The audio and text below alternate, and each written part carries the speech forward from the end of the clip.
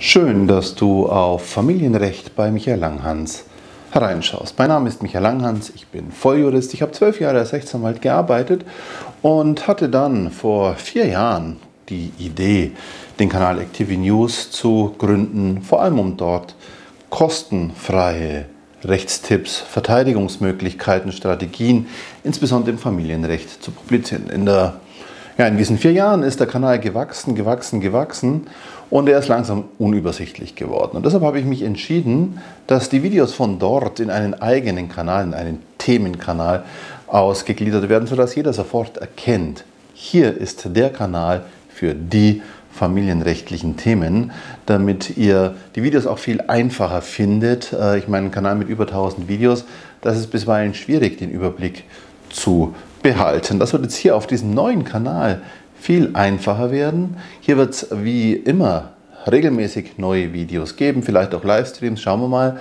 Es wird vor allem aber auch eine Migration der alten Videos hier rüber geben, sodass alles gemeinsam ist. Manche Videos werde ich einfach auch nochmal neu aufnehmen. In den letzten vier Jahren hat sich viel getan, sowohl rechtlich als auch tatsächlich.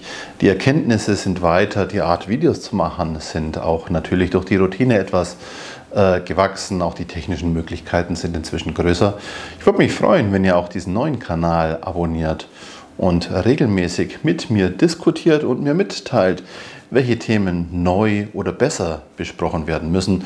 Denn nur gemeinsam kann das, was für euch relevant ist, hier erörtert werden. Ich möchte euch Tipps mitgeben, wie ihr euch im Gericht verhaltet, wie ihr vielleicht auch mal aus Sicht der Gegenseite des Jugendamtes eine Situation äh, seht, wie ihr mit einfachen Möglichkeiten Verfahren so gestalten könnt, dass in eurem Interesse passiert. Ich werde euch äh, Tipps geben, die euch euer Anwalt nicht gibt. Ich werde euch versuchen, Probleme von beiden Seiten zu gestalten, damit ihr nicht mehr das Gefühl habt, hier hoffnungslos unterlegen zu sein. Schaut einfach mal rein. Ich freue mich.